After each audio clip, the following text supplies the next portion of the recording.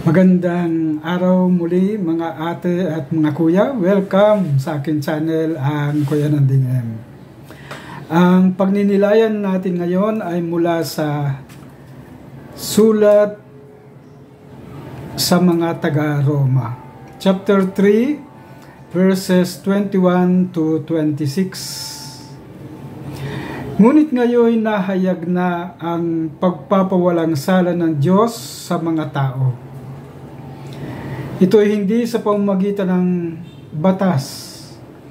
Bagamat ito ay pinatutuhanan ng kautusan ng mga propeta. Pinawawalang sala ng Diyos ang lahat ng nananalig kay Heso Kristo sa pamamagitan ng kanilang pananalig sa Kanya, mga Hudyo at mga Hintil. Sapagkat ang lahat ay nagkasala at walang sino mang karapat dapat na sa paningin ng Diyos. Gayunman, dahil sa kanyang kagandahan loob, ay pinawalang sala sila sa pamamagitan ni Kristo Jesus na nagpalaya sa kanila.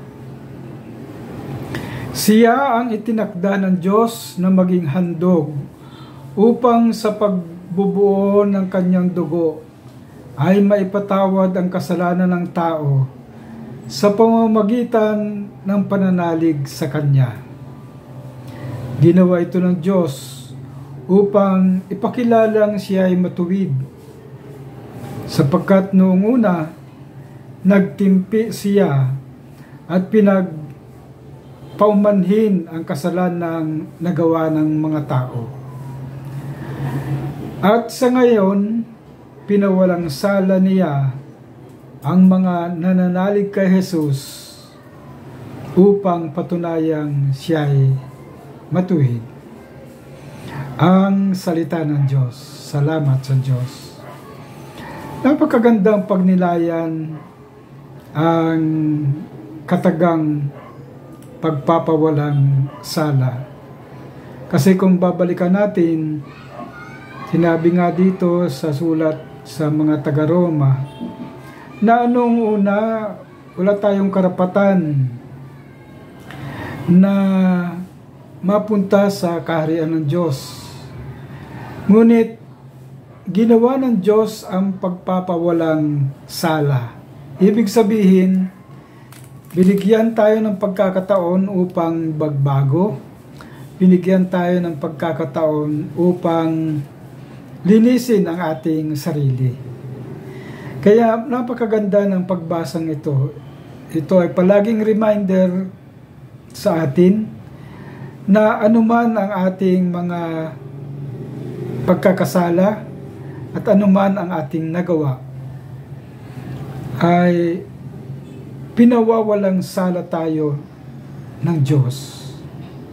Kung una, taimtim ang ating panalangin, kung tayo ay nagbabago, at kung tayo ay nananampalataya kay Kristo Jesus.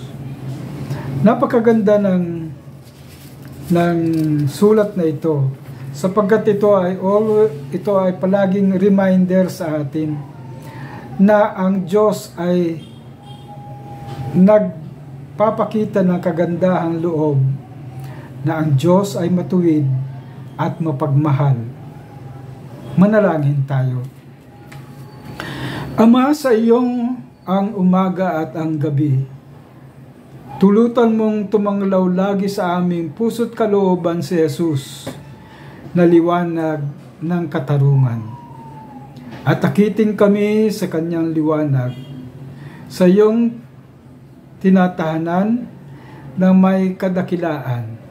Inihiling namin ito sa pamamagitan ni Heso Kristo kasama ng Espiritu Santo magpasawalang hanggan. Amen.